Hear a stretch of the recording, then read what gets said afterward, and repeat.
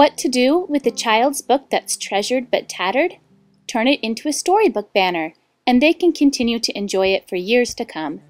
This tutorial is sponsored by favecrafts.com. I'm using a chipboard triangle as a template. You can make the triangles any size you'd like, as long as they're all uniform. I'm tracing the triangle onto each page because I want Curious George on every pennant so the kids can play a seek and find game with him. If you aren't picky about the image on each pennant, you can rip out a stack of pages and cut them all out at once using a paper cutter, and that will save you a little time.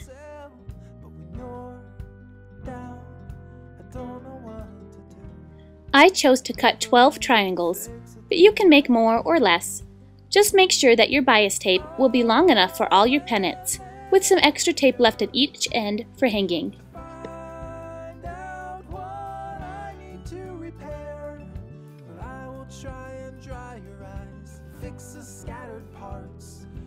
I will learn to mend your troubled heart.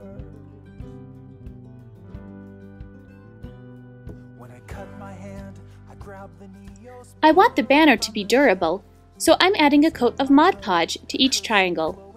Lay down newspapers or magazines to keep your work surface clean.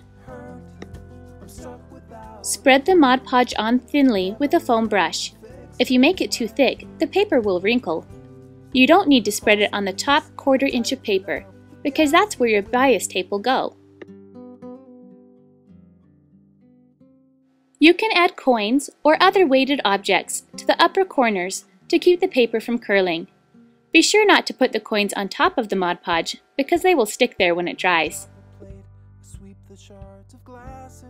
Allow the front of the triangles to dry completely. Then flip them over and add Mod Podge to the back as well. The Mod Podge will thicken the paper and add a nice shine.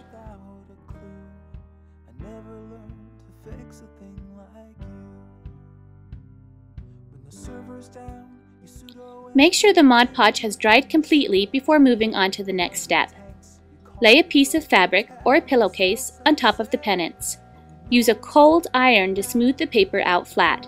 Do not plug the iron in.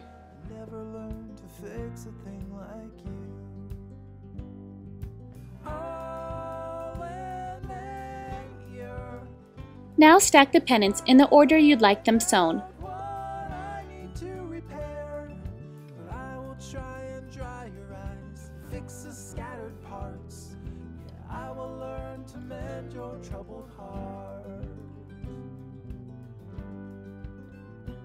Measure about 12 inches in from the end of a piece of standard bias tape.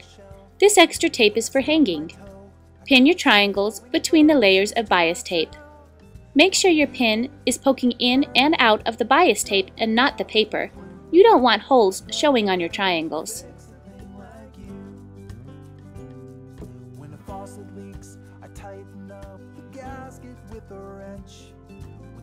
stuck I plunge it down before the floor gets drenched But when you Then sew slowly directly on top of your bias tape.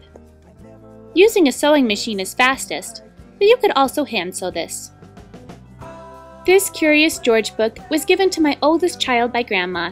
Two kids later, the binding is ruined, but the book can now enjoy new life as a storybook banner. This tutorial was sponsored by favecrafts.com.